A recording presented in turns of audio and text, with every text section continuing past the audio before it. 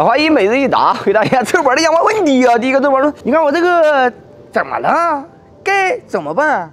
这个叫人参蓉，它第一喜欢光照，很多的臭宝买回来以后，你放到屋里边的不适合，明白吗？这个就是水大缺光，通风差。解决方法很简单，拿出去晒，基本上就完事了。还有一个呢，就人参蓉你长很长了，你记得给它剪一下，别的没啥，来点肥料的事。下次我说老花姨这是怎么了？这是疥壳虫，要打药，看一下这什么？你不行就剪剪，你知道吗？这脏，他妈酱蓉你跟我大舅子一样，我跟你说，像小王八，嘣儿它就吸在那上面，有个小刺儿，嗯，就开始吸。你打药吧，它身上一层壳，它打不进去。所以说你。要么我咋说你剪掉它呢？要么就扒拉掉它，扒拉掉以后你再打药才管用，好吧？给出的建议是修剪一下吧，那种不好的全部剪掉，剪掉以后打药。像这玩意儿，老花衣有一个小叶紫檀，也可能是黑骨茶，不用可能的都是黑骨茶，为了好卖叫小叶紫檀，好吧？养了两年一直恢复不了，这了那那那这，其实跟臭宝说呢，一定要给肥料。养花你养养不养得活，全看浇水怎么浇的；养不养得好，全看施肥怎么施的，好吧？浇水呢就很简单，跟人喝水一个道理；施肥就跟人吃饭是一个道理。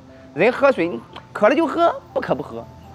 喝多了不要紧，你能去厕所。很多臭宝是啥？他本身他喝了以后他去不了厕所，或者是直接尿裤子，时间长了他不烂裤裆吗？你看，好多花友养的就烂根。再一个呢，不施肥。你一论成年的不施肥咋行啊？人一天吃三顿，植物一个月吃三顿。你两年不施肥，相当于人二十四天没吃饭了。我大舅子也熬不住啊，明白了吗？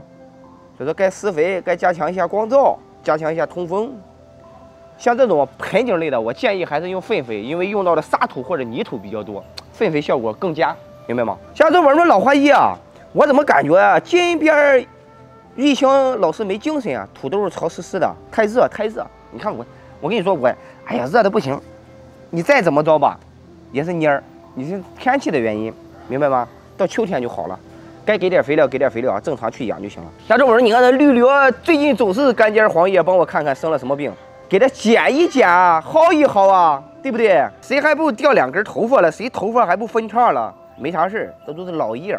老叶之所以这种干尖呢，都有缺肥啊，要么就有点沤根啊，一般就这两个点，明白了吧？稍微干一点，稍微来点肥。下个周宝，我还有个问题，草莓、薄荷底部干枯，叶子长不大。缺肥，第一点缺肥，然后我就修剪了一下，请问是什么？缺肥啊，主要是缺肥啊。我再给你画一画，你再剪一剪，剪短，别留那么长，哎，剪短。然后呢，给肥。